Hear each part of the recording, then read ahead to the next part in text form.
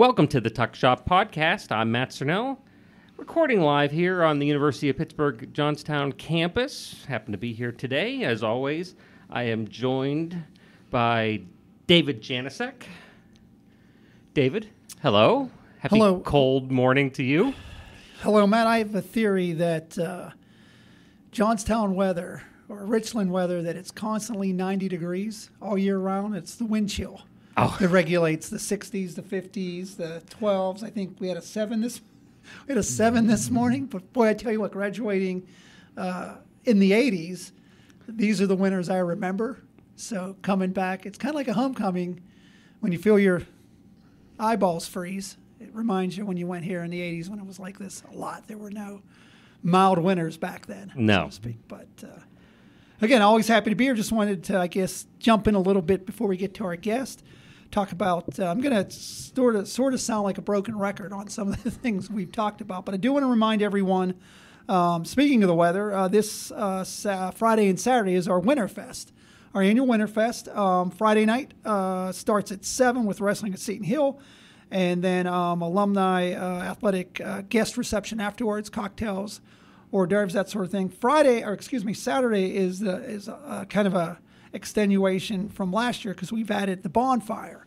Uh, man, I thought last Saturday would have been a perfect bonfire day. It was a cold Saturday. yeah. It would have been great. But next Saturday, I think it's supposed to still be in the 30s and 40s. So we're going to do a bonfire after uh, after the women get done uh, beating up on Gannon. Uh, they do a one and a three o'clock game. Uh, men's play at three after that game. We're going to do uh, the bonfire with uh, barbecue and uh, and brews. So if you're inclined to um, imbibe in a in a cocktail or two, we'll have those available. Um, Friday night is a ten dollar fee. Saturday is a ten dollar fee. Friday night you get a nice uh, nice retro throwback uh, T-shirt. Saturday we're giving you a hat to keep your head warm. Um, but the big important thing is make sure that you go on and register so we make sure we have enough uh, food and beverage. And that's at uh, uh, www the number four dot upj dot pitt dot edu forward slash alumni. I know I said before that's a very long uh, address, but if you go on to uh, the athletic website, the ath- the alumni association uh, Facebook page, it's all right there. Two other quick things I do want to talk about. Um, also, we're in the middle of our Mountain Cat couples activities. So if uh, you know we talked last week, if you met your significant other and you're still together, we'd like to hear about it. Uh, so we're asking send a picture, send a message, or send send your story. Include uh, kind of things like where you met, uh, your story, you know, how you met. Um, if you're married, involve. Uh, if you're married or involved, and you still have a maiden name, uh, please put your maiden name, graduation years. You can send those to DGJ, the number seven, at uh, pitt.edu. Last thing I want to talk about, and then I'm going to be off. This is a new thing. Um, March 23rd, the week of March 23rd, we are planning uh, the 50th uh, 50th year celebration of our engineering and um, computer science uh, programs. So, starting on March 23rd, we're going to do a uh, picnic. Uh, it's going to be indoors, more likely, uh, indoor outdoor type picnic. Have tours going on on that Saturday. We're also planning on doing things throughout the week. That is Eng- Engineers Week, uh, particularly this year. So, uh, if you're an alum, watch for an invitation coming out soon. The other thing we'd like to see is. Um, I know our guest was an engineer. Yes, Um, don't know that they had engineering week back when he was here, but we did. we did. So, Engineering Week this year, we want to invite alumni back to partake in Engineering Week. So, uh, again, keep an eye out on our Facebook page, webpage. We'll be sending out invitations. Uh, we'd love to see a lot of engineers come back. And uh, it's kind of interesting, I think, with engineers, they're kind of like, here's how we do it now. And I, you always love to hear that. Well, here's how we did it, uh, sort of thing. with a slide rule. With us. so maybe we'll have a slide rule competition. One thing too about about with the invitations is if you aren't 100% sure you might get one in the mail or the email. Probably means you haven't talked to us or heard from us lately. Your information could be not updated, right? That so you can go to the upj.pitt.edu slash alumni site and make sure you're updated. Your information, you know, may have moved in the last couple of years or something, and just in the in the hustle and bustle of moving a household, forgot to update us, and you're not seeing emails or or, or um, getting mailers in the mail from the institutional advancement. So something there to if you if you're like, oh, I want to make sure I hear about that. Make sure your information is updated as well. So keep an eye out. We'll also be doing, we'll be using our LinkedIn page a lot. So if you're a LinkedIn member to our page, uh, we'll be putting out invitations, information um, about uh, the big engineering, including computer science, which is now part of that department, um, for that uh, week of March 23rd. Planning a lot of festivities uh, around Engineers Week, and we'd love to see alumni come back, even if it's during the day, even if you come up during your lunch hour um, to take in, you know, uh, some of the activities or in the evenings. So keep uh, ears open and eyes open for that information. Great. Thank you, David, for as always coming and giving us an update on things that are happening in your world. My pleasure. Okay, moving on to our guest. I've been so excited about wait, getting this interview scheduled in. Don Freeburn, thank you for coming. You're welcome. Thanks for having me. What's your Pitt Johnstown story? What's your UPJ story? How did you start here? How did I start? Well, not here. Okay, it's back when it's the old asphalt campus, and uh, actually, uh, my my twin brother and I uh, attended early. We were still in high school, completing the last year in high school at Johnstown High, and my father talked, I guess, with the uh, Pitt chancellor at that time, Johnstown chancellor, and they had a program, I guess, uh, identified for early uh, entry. I think there was about five or six, I guess, students, two women, and my brother and I, and uh, I think there was a Air Force person too coming in back to school and stuff like that was available, and so we came in. I guess it was April. I guess when the trimester system started, we were still in high school, and every teacher that we had, except one, the English teacher, said, "Hey, you're finished. Don't have to come back to any more classes. You're you're done. You got a good grade and everything else. Don't have to come back." But the English teacher, uh, Miss Varner, and everybody knew her for hundreds of years. Okay. I had older sisters and stepbrothers and stuff like that who had her and that, and every time he went to her class, she said, "Oh, another Freeburn," but she went back even more than that. But she was notoriously, but notoriously good though, very good English teacher, and of course, my brother and I were both in the honors level of academic at Johnstown, so we were in there with all the rest of the bright students, particularly English class of the women. They could gabble, gabble, gabble, not without no notes or anything else like that. Whereas I would be back there saying, "Hope the period ends before I could give my speech."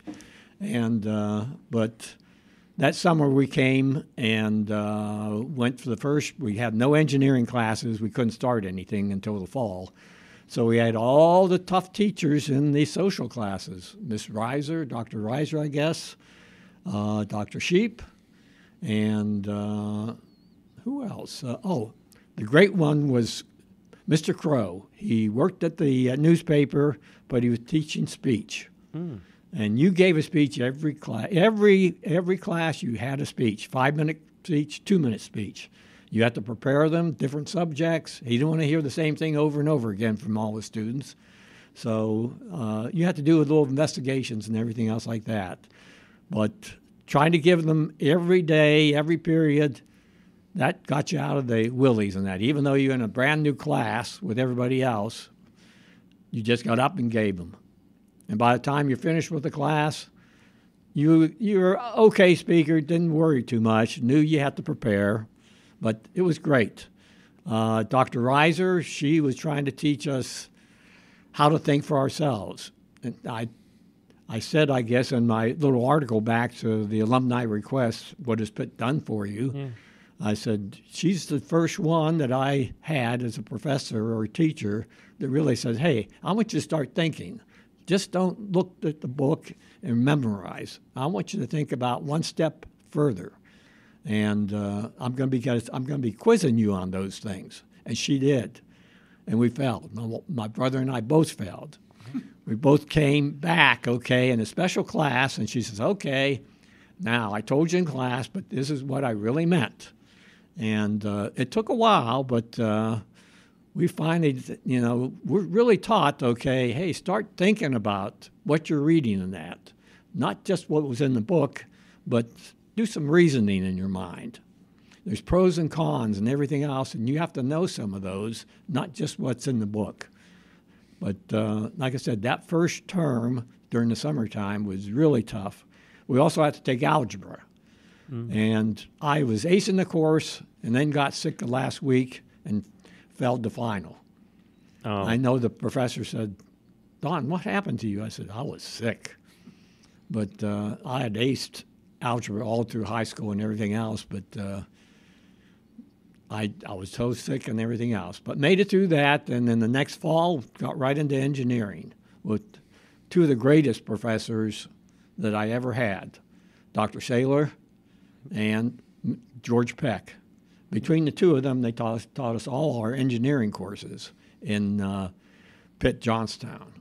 And once we got to main campus, as I mentioned too in my little article, that uh, we were ready. We were ready up to up to snuff for the rest of the uh, professors down at the main campus and that. We didn't have to drop back and have more studies or anything else. We were ready for it.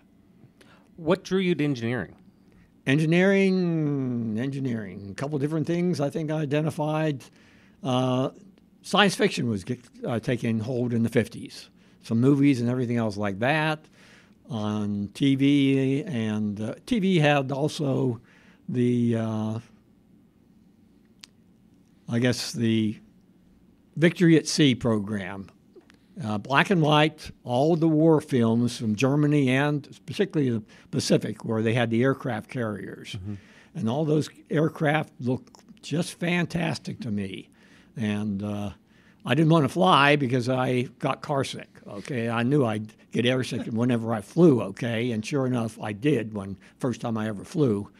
But uh, but no, I I liked uh, the you know very progressive you know designs and things like that, and said, hey, that's fantastic. And I had an aeronautical teacher in high school. We had aeronautics, and he was a P fifty one, which was one of the great you know, uh, aircrafts, you know, fighter aircrafts in the in the Second World War in Germany, particularly. And uh, he was of the Mennonite faith, and essentially he would not talk about his service in that because that was against his faith. He had gone against his family in that. Mm-hmm.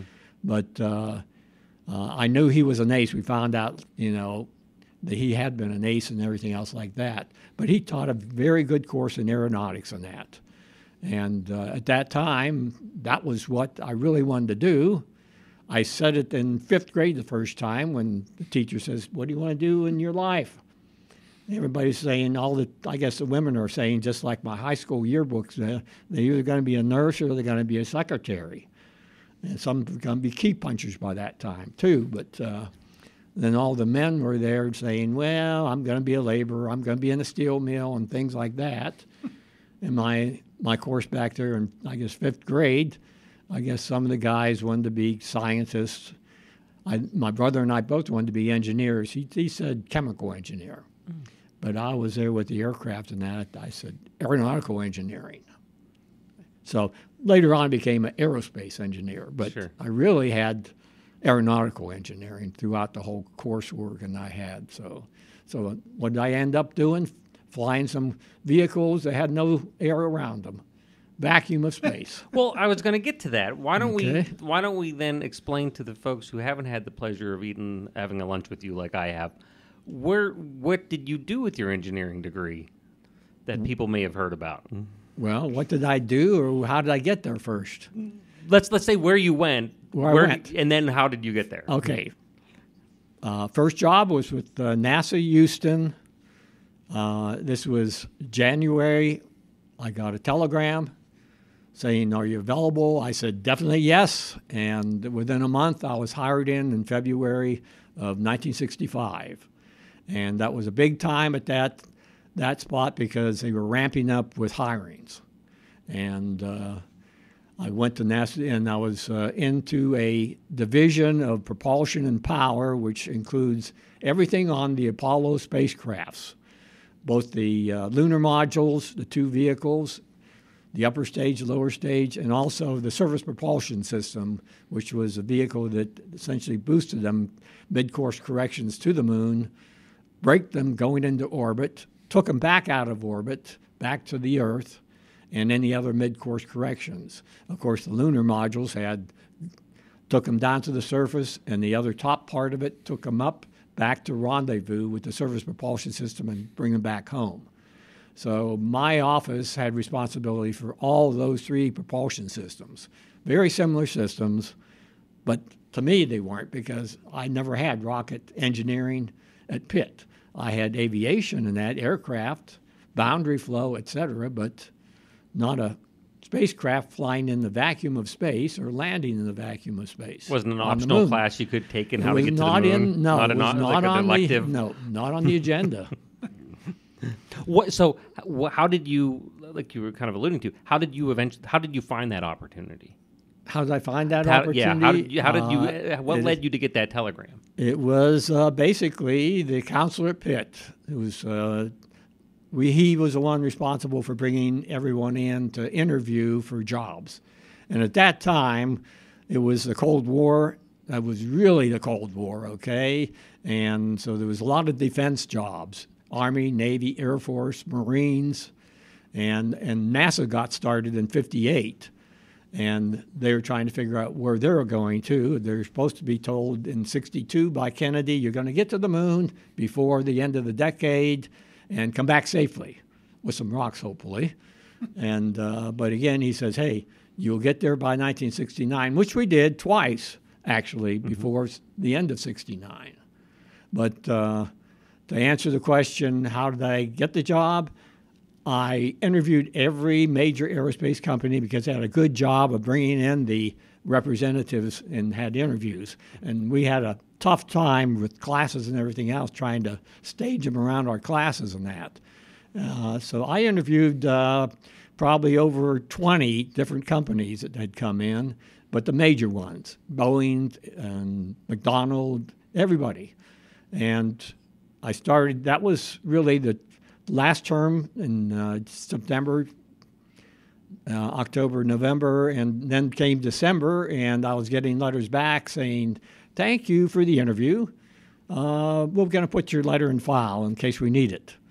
And we knew what that file was. That was a round file. Yeah. And uh, uh, other other firms didn't even send me a letter back. I went to the counselor towards, I guess, the start of December, and he said, Don, you should have told me you're a diabetic. Why didn't you? Okay, because they're not going to hire you. You're a di- type 1 diabetic. I learned that in my first year of college in 62. I'm on insulin.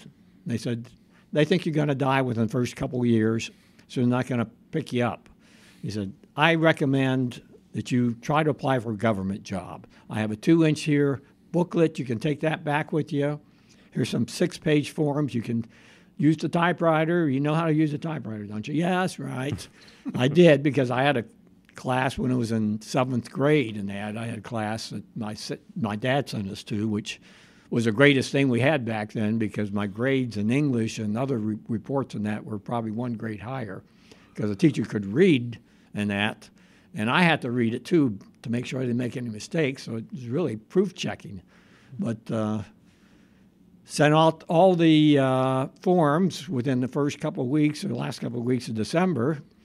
And the first week in January, I received a telegram at home saying, Are you available?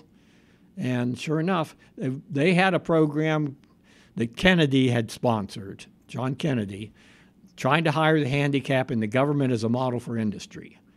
And it was a different type of program at that time than today because it had actually uh, today's program is goals. If you don't make your goal, well, yeah, I'll do better next year. They had actual quotas. Mm-hmm. They had two lists one the regular list, the other the handicap list.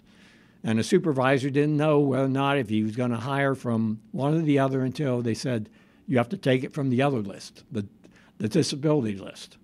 And that's what I got. I got my name came up, and they chose me out of the, the packages that were there. But again, this was a high time of hiring that because they needed people in the aerospace industry. So you're sitting in Texas, working on this program. Learning the whole program, okay, I went in there, didn't know anything about Apollo. I didn't know where Houston was. I knew it was in Texas because I rooted for the Houston Texans, okay, or Okay. Houston Oilers, I guess, back Yeah. then. But I didn't know if it was going to be on the coast, inland, or what, okay? And Texas is a big place. Yes.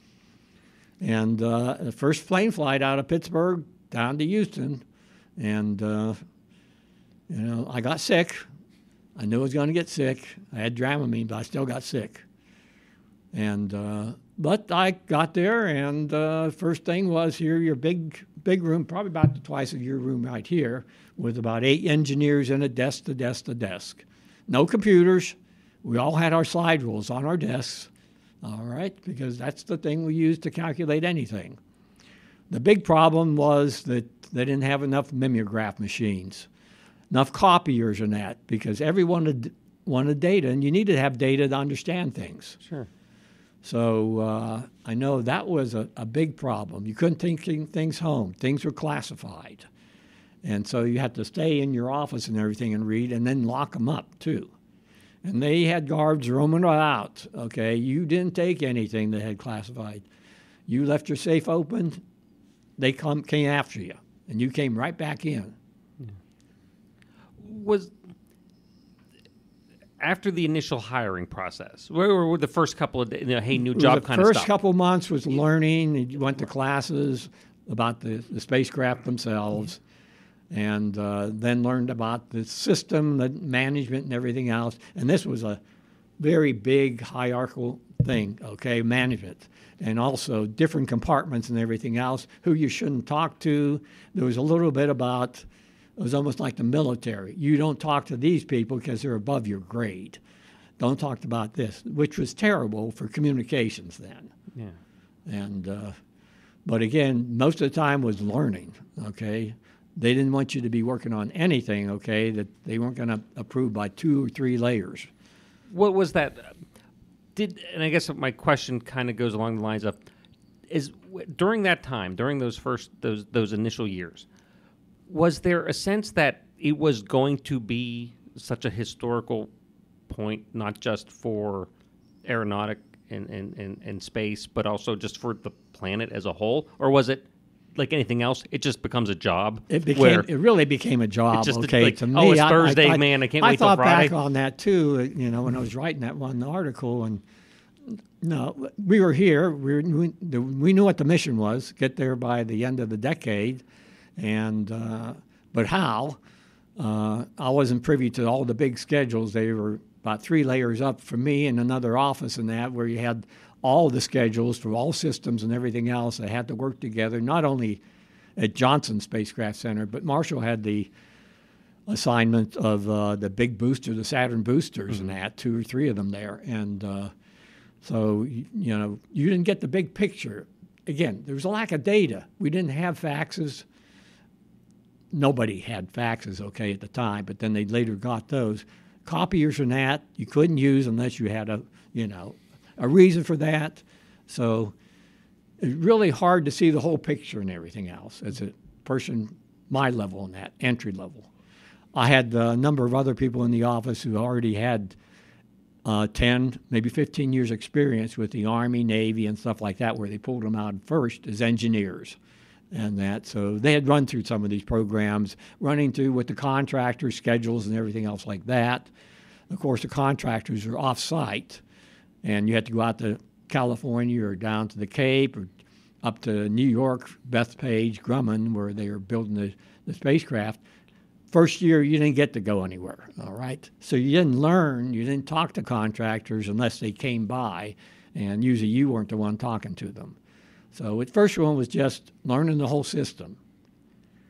what was you've talked about education even beyond just learning the system what was what was through the years because how long did you end up then working for nasa I worked uh, 13 years for NASA, uh, Apollo program, the Apollo Skylab program, three missions there with the Apollo Service Propulsion System. Uh, the one mission with the Soviets, joining up with the Soviet vehicle, shaking hands, going back. And uh, then the last one was uh, with the space shuttle. And I left before the, uh, two years before the space shuttle flew the first time. But I got there to work the, the early elementary level designs of the space shuttle, and they had all kind of configurations, thinking they had all the money in the world. But uh, they finally found out that nobody cared after we went to the moon a couple times. The budgets just started decreasing, and uh, I saw well, time to move on. Next thing, because I was into the program. I saw the new development and everything else up to the point before they flew.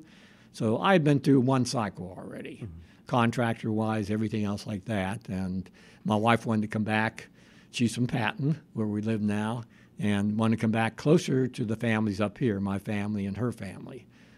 And uh, it took me a number of years.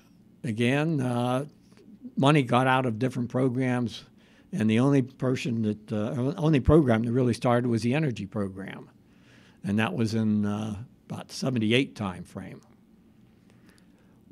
What can what did you can do with continuing education as far as an engineering perspective? Like what did I tried to go back for a master's with uh, when I was going to school there. I mean, going to work and uh, went to the University of Houston and that, and uh, learned that my algebra skills and my trigonometry skills, all those things, met their match for this abstract math. Okay, that was taught. Okay, that's to me is still abstract. Okay.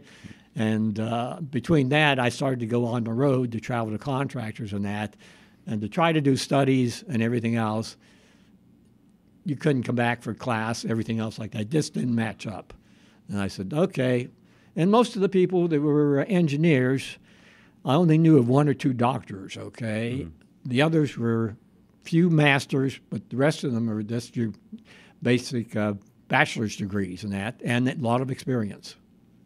I guess the experience, because really, when you do think about it, uh, what again, what class are you going to go to that helps you?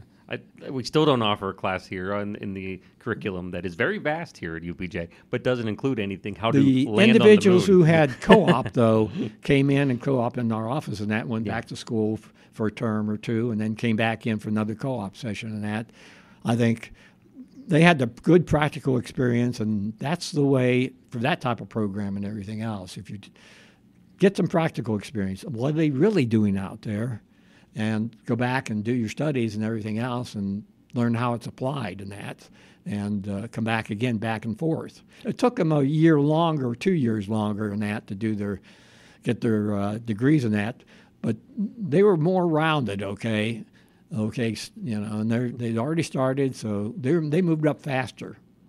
That's one of the questions I like asking when we do these interviews is is if you could go down now and grab a, a group of students someplace and tell them this is the thing that be a different. At least is one term, you, if not two, at least two terms or something like that with an industry.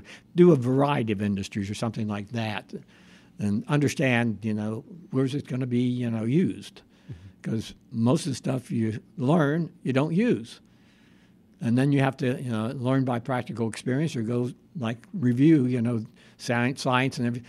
One thing I didn't have enough science. Okay, I realized that you know, about the second or third year, you know, and everybody was talking about uh, this and that material and that kind of stuff. And I had one material, metallurgical course.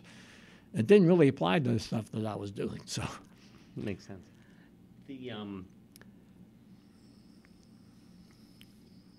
did did you ever lose that interest in the space program? You talked about what you decided to move on from a family standpoint. I lost you- it because it wasn't my, because when you went, I went to energy department at Morgantown.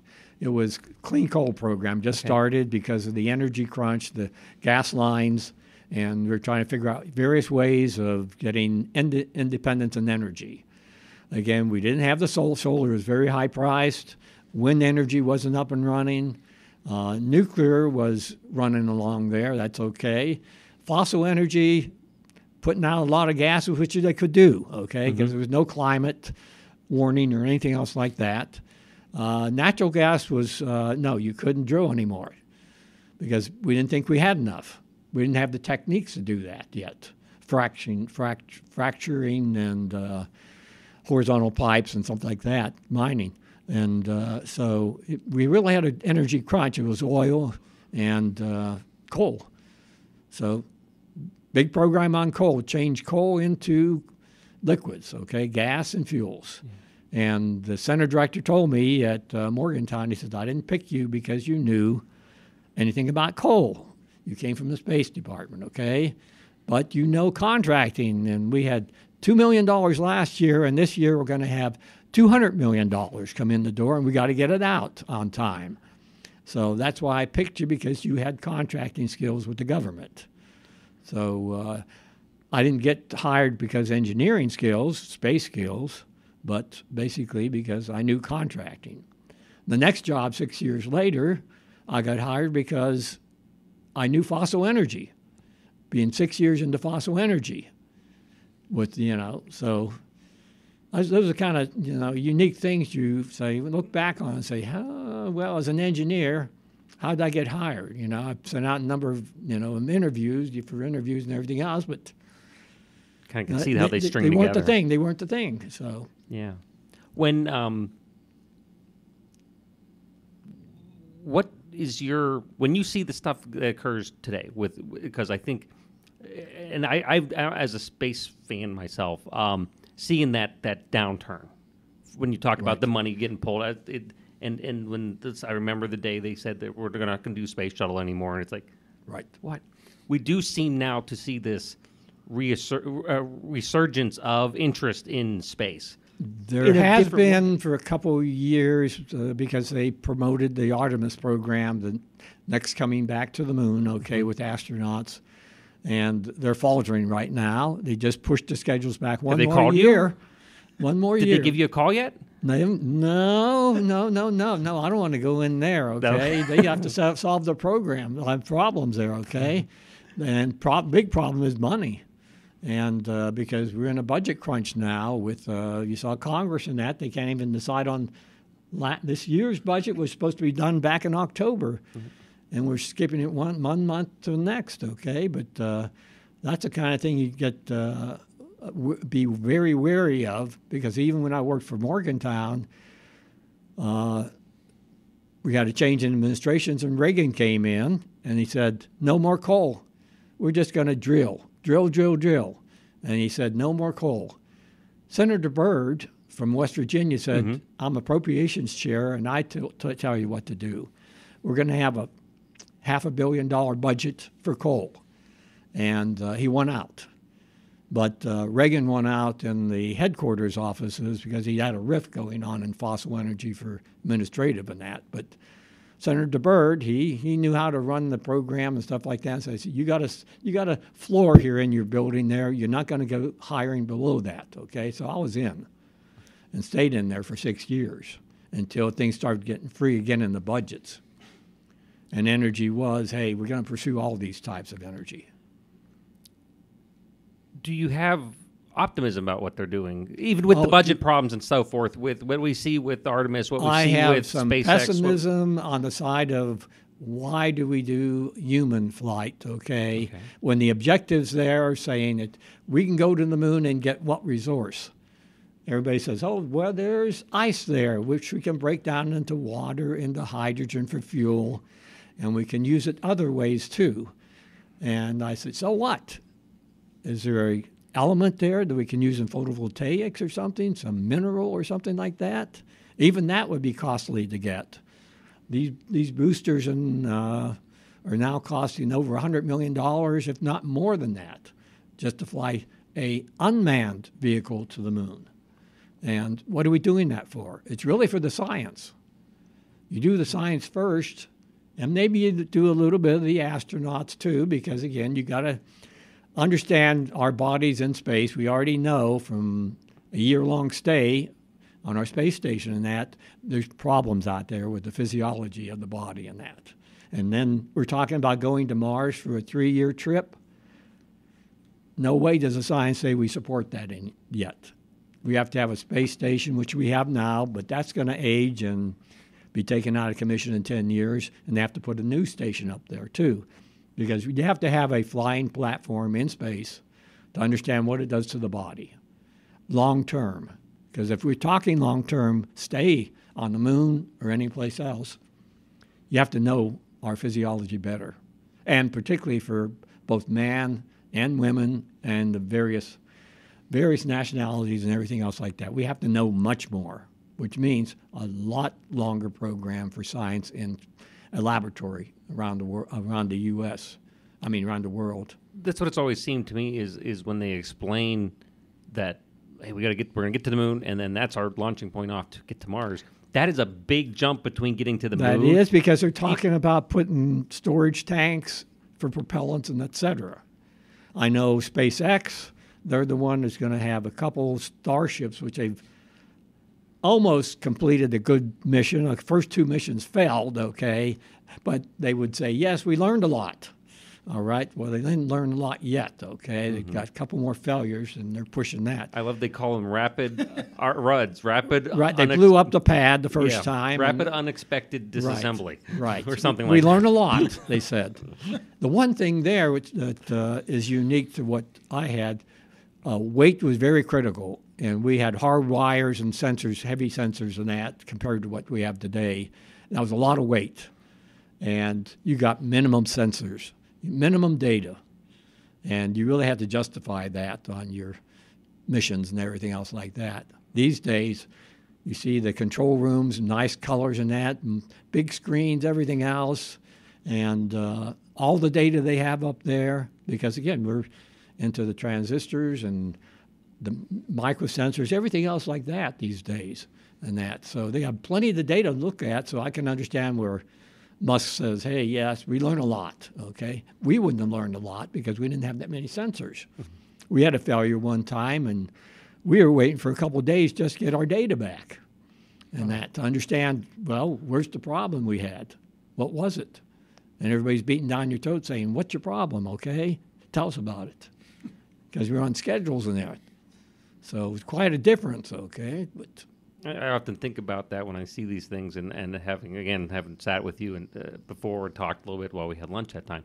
When I think about what you think when you see them doing a, li- launch uh, to vote for our astronaut, and it's touch screens in the cabin, and It's and beautiful. Oh, yes, we had the black and white little CRTs, okay, with minimal data. And we had to wait on data return and that, Mm-hmm. and they have instant, okay, and instant recording at their fingertips and everything else like that. So, it's very very interesting. David, do you have anything that Yeah, you covered a lot, um, but I've been I've been very excited for this. no, interview. it's great. You've covered a lot. Question. so I still want to say, though, we need to go to the moon, I guess, just to understand, but going to Mars and that, it's decades out. Un unless we find there's a reason to do it or something, some scientific reason, which we haven't yet. Life, okay? Yeah. But even that, that can be done remotely, okay? First, with fewer dollars, okay, which we're going to have, fewer dollars because it's tremendous cost. So here's my question. So, question, you know, we had Coach Pecora on last week, and we talked about teams and talked about you know individuals and teams. So I'm going to kind of wrap this into to last week. So you're part of the Apollo project. You know, I I'm, I'm sure you've gotten asked every time you say that. You know, what about Apollo 13? But my question is, so you know, Matt had mentioned earlier that this was not just a this was a big project. This was a worldwide recognized project. You know, Kennedy said in 10 years we're getting to the moon. Um, I come to work and try to get from one day to the next. you know, what am I doing in 10 years? So I guess my question is um, when that happened, both, and I'm gonna, it's going to be a kind of a two part. So when that happened, you know, you had the highs and the lows. Uh, what kind of feeling whenever, you know, there's that day when we're finally on the moon? I mean, I know you're an engineer, you're a part of a team, but how did how does that Well, we were to- kind of looking over our shoulders saying, what's next? Okay, is somebody going to start cutting us back? Because we knew, we, we were talking about it, saying public loses interest fast, and they did. Yeah. After the second one, it was, okay, then we had 13 happen right. one more time, but it didn't come up to the thing, and everybody's saying, why are we doing that? And of course, Congress is saying that too, okay, on budgets and everything else like that. And what's your next program? And we really didn't have a next program, Skylab, okay, Right. little bits.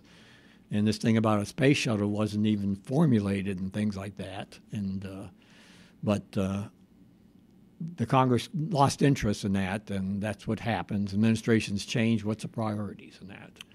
But uh, but now, again, even with this lunar, they've had about four different starts under different administrations. right. They call it a couple of things, okay, and it's who's going to get in back of it, and why are they in back of it, and for what reasons. And for me, it's not a solid reason right now. Mm. Yes, we'd like to go back. We'd love to have astronauts in space, and the number one thing is going to be in the next couple of years is we're competing with China because China is there. We had the Russians. At that time, it was a race, and we almost lost the race. Okay, as far as bringing moon rocks back, That was going to be my question. they Is had this- brought back. They had sent a uh, robotic device and crashed a year before on the moon, and it was meant to bring back samples, and that would have brought back the first rocks. And said, no, we lost that one too. They brought the first rocks from the moon, and uh, but as it turned out. No, we brought it back. Matter of fact, the same time we landed with Apollo 11, the first landing, they sent another one back, an, a robotic, and it also crashed. So therefore, they didn't bring the moon rocks back first. Okay, we did. So then it says, okay, what's the? No, why are we going after more moon rocks for? We won that race, I I was going to kind of. Uh, and that's the only thing we won. Okay, it's bringing back rocks because what else did we bring back? Nothing else. Yeah. We didn't find anything that said we should go back. Right. It did. It did seem, and David's question kind of made me think about that. Is that it would seem like the oddly enough that the biggest motivation to take the next step into a larger universe would be some type of foe trying to do it before the United States. Right. That's what the Chinese are doing, and they've and they again, it's a Cold War race again because they don't speak about their programs and that. We have to find out from our sensitive satellites and everything else like that. And uh, but uh, it's still a Cold War going on, and they have a space station with three astronauts up there right now too, their own, and nobody else with them. All right. So they are in a race with us to go back to the moon. Neat. But it's not mentioned though. Yet nobody really mentions it right now. But in but in your part that you played, that 13 years, do you ever, you know, what did you do today? Did you ever say I put a help put a man on the moon? Right. I was well. Again, I, I realized too, especially after the 50 year anniversary, all the publica- publications came out and said we're going to do it another time, and uh, we haven't done it yet. And but the 50 year anniversary was there was a half a million people. Um, half a, it's no, it's a half a million people around the world supporting the Apollo program at the time of the first moon landing. That includes all the Navy people that are out there in the oceans picking up the the people in that, all the uh, telecom people around the world, and the different stations we had around the world, and also uh, it was everybody that made a little part on the one piece of the Apollo program. Okay, there was you know half a million people that had touched something or did something. So I was one of half a million. And right now, it's kind of like Tom Brokaw saying, we had that greatest generation in World War II and we're losing all of them. Well, that's a situation for the people who worked on Apollo. Yeah. We're losing because I have a lot of a lot of uh, faxes and not faxes, but emails and that up from Houston, my people I know down there saying this person died, that person died. I'm 80, going on 81. I'm as old as the president and still vigorous like the president, but most of my age are not, okay? And many were older when I first came in there by 10, 15 years on, so- so they're gone. So uh, I am still enthusiastic, though, okay? It's something we ought to be doing because we want to be doing. We can't just stay on this earth. That's uh, that's a great sentiment. I had an alumni that used to, was on this show earlier, mostly because you know she lives with me. Wanted me to ask you if you were given the chance, they needed for some reason come over. Don, we need you. Suit up. You're going. Would you have gone? No, I can't. I, I like I said, I got nauseous in the back seat of the car. Okay, and, and I got nauseous in the first plane flight, and I had Dramamine, and all Dramamine does is just slows you down and everything else right afterwards. Boy, it's not a pleasure. Okay, I would probably have loved it if I didn't have the nausea. Okay, would like to try to do that, Mm-hmm. but Motion sickness. no, I, I motion sickness stopped me. You know, even before I even went into aeronautics. Okay, so. I'm that way in elevators too. So So no, but I, I, I, I hear Musk out there saying I'm going to be the first on Mars, even if I don't come back. Well, he has a billion, more than that. Okay, he can do anything he wants to, and he probably will. So, as long as he doesn't get and first Motion person on Mars may be Musk. Okay, it wouldn't be me though. Thank you, Don, so much for coming and spending better part of an hour with us. Actually, Well, I enjoyed it. I, I want you know the point being made, Don. You make a good point that you know that generation's going to be gone at some point. and I think even this little bit of just coming and telling your story on the podcast hopes. I would hope helps to preserve that for our alum. Well, I go around to the local libraries the last about five, six, seven years, and two, and I got introduced there by a professor at uh, St. Francis. Okay, up here at a Potato Fest.